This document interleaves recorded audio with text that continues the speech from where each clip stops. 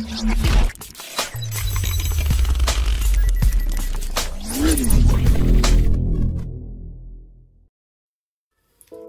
Friends நம்ம இன்னைக்கு பார்க்க போகிறது என்னன்னா சாம்பார் சாதம். சாம்பார் சாதம்னா வெஜிடபிள்ஸ் யூஸ் பண்ணி தான் பண்ணணும் அப்படின்ட்டு இல்லை இந்த மெத்தட்லையும் பண்ணி பாருங்க ரொம்ப டேஸ்ட்டாக இருக்கும்.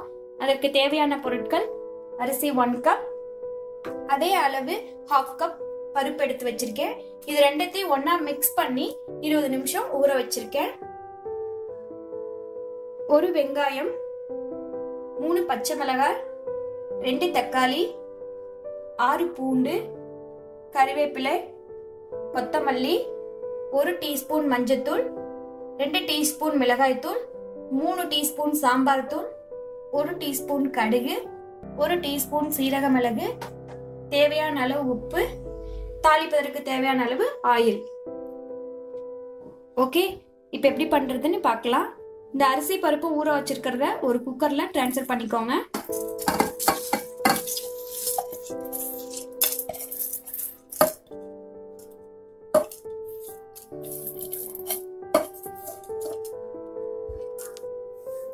அப்புறம் கட் பண்ணி வச்சிருக்க வெங்காயத்தை போடுங்க.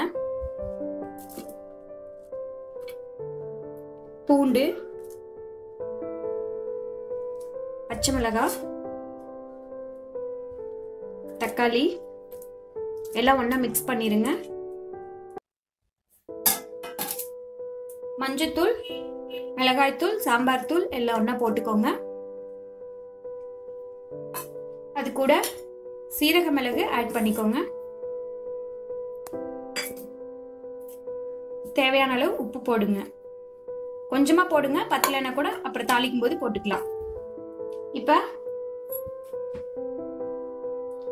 நீங்கள் நார்மலாக ஊற்றுற தண்ணியோட ஒன்றரை கப் எக்ஸ்ட்ரா ஊற்றுங்க அப்போ தான் நல்லா குழஞ்சி வரும்.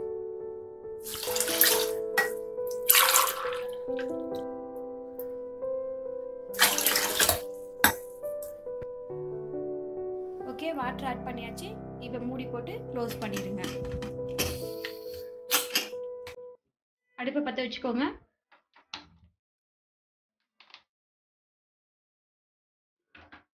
நார்மலா நீங்க எத்தனை விசில் விடுவீங்களோ அதை விட ஒரு நாலு விசில் எக்ஸ்ட்ரா விடுங்க. நாலு விசில் எக்ஸ்ட்ரா விட்டு இறக்கி வச்சிருக்கேன். இப்போ வாங்க தாளிச்சிடலாம். கடாய் வச்சுக்கோங்க. தாளிக்கிறதுக்கு ஆயில் ஊத்துங்க.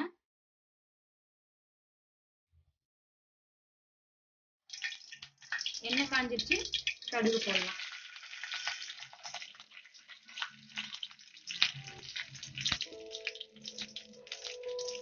கடுகு பொரிஞ்சிச்சு. கருவேப்பிலை போடணும் இப்ப இந்த சாதத்தை அதில் கொட்டுங்க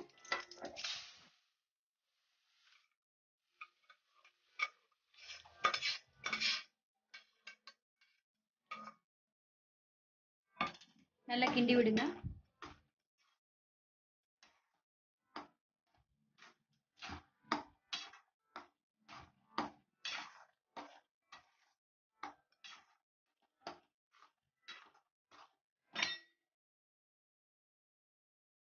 இப்ப கொத்தமல்லி மேலால போட்டுடுங்க. அவ்வளோதான் சாம்பார் சாதம் ரெடி. ஓகே இந்த வீடியோ உங்களுக்கு பிடிச்சிருந்தா லைக் பண்ணுங்க கமெண்ட் பண்ணுங்க உங்கள் ஃப்ரெண்ட்ஸுக்கும் ஷேர் பண்ணுங்க. தேங்க்யூ